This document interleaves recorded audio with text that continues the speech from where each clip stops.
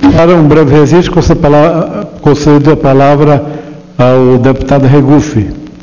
Senhor presidente, eu quero registrar aqui a minha crítica a alguns gastos do governo do Distrito Federal. O primeiro deles é esse estádio, senhor presidente. O estádio é bonito, sem dúvida nenhuma é. Agora, custar 1 bi e 600 milhões, 1 bilhão e 600 milhões do dinheiro do contribuinte do Distrito Federal, me parece um absurdo. Não posso aceitar isso. A estimativa inicial, o orçamento inicial era 702 milhões, o custo final, o aditivo, é maior do que o orçamento inicial. O Estado saiu mais do que o dobro do orçamento inicial.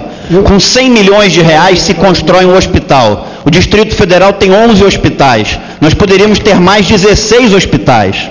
Então não me parece correto. Não posso concordar também, senhor presidente, que se pague 42 mil reais para Elza Soares cantar o hino nacional.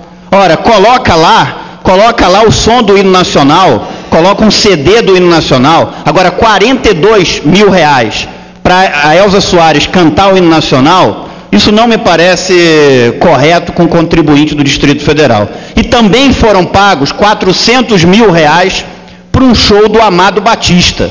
Outra coisa que eu não posso concordar, numa cidade que precisa que os recursos públicos estejam concentrados na educação, na saúde, na segurança pública, esses gastos não me parece o que é melhor para o contribuinte do Distrito Federal. Quando eu tenho que elogiar, eu elogio, agora quando tem que criticar, eu critico também. Esses gastos não são o que, o que melhor preza pelo interesse público e pelo que o contribuinte gostaria de, de onde ver aplicado o seu dinheiro, o dinheiro dos seus impostos.